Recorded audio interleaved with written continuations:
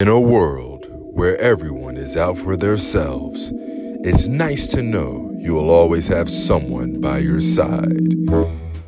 Even if it is your idiot brother. You're nervous. Oh shit.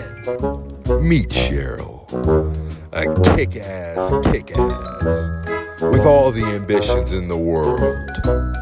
But she is incredibly lonely. What a tragedy. Meet Paul, a free spirited individual with a broken heart. What a tragedy. Both are on the brink of losing their shit entirely.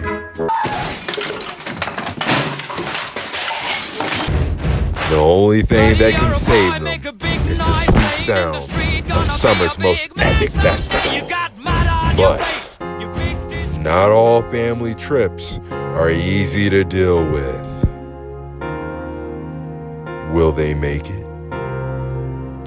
Will their bond last? Find out on Tripping.